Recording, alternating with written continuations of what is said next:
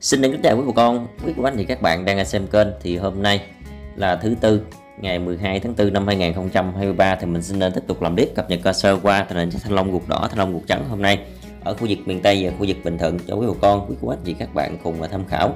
Thì ngoài cập nhật tình hình giá thanh long thì hàng ngày hàng tuần mình còn có làm thêm những clip cập nhật tình hình giá cả của một số loại nông sản khác trên kênh. Quý bà con, quý cô bác anh chị nào có xem kênh có quan tâm đến giá thanh long hay một số loại nông sản khác hàng ngày thì có thể vào trong danh sách video ở trong kênh để xem. Kính thưa quý bà con thì tình giá thanh long ruột đỏ, thanh long ruột trắng hôm nay ở khu vực miền Tây và khu vực Bình Thuận thì giá đang có chiều hướng đang tăng nhẹ nha quý bà con. Hiện nay thì tình hình giá thanh long ruột đỏ tiếp tục ổn định ở mức cao. Tình hình giá thanh long ruột đỏ ở khu vực ờ, miền Tây thì loại 1 đang nằm giá đồng từ 41 đến 42 ngàn, loại 2 thì đang nằm giá đồng từ 36 ngàn, loại 3 thì đang nằm giá đồng từ 30 ngàn, còn loại 4 thì giá đang nằm giá đồng từ 18 ngàn.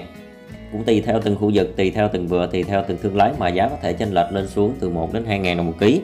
Đây là tình hình giá thanh long ruột đỏ ở khu vực miền Tây. Giá này là giá thương lái thu mua tại vựa nghe quý bà con.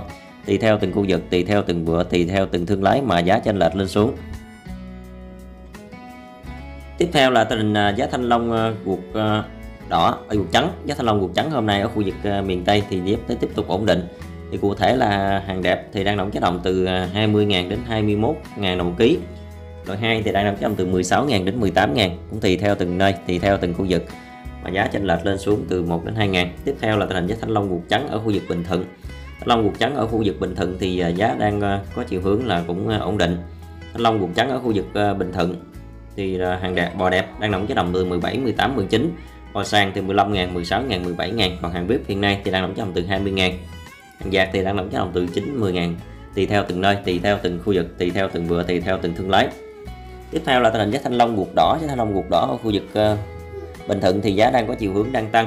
Thanh long ruột đỏ ở khu vực Bình Thuận thì loại 1 đang nằm giá đồng từ 38 đến 40 loại 2 thì đang nằm giá đồng từ 33 đến 35 còn loại 3 thì đang nằm giá đồng từ 30 ngàn.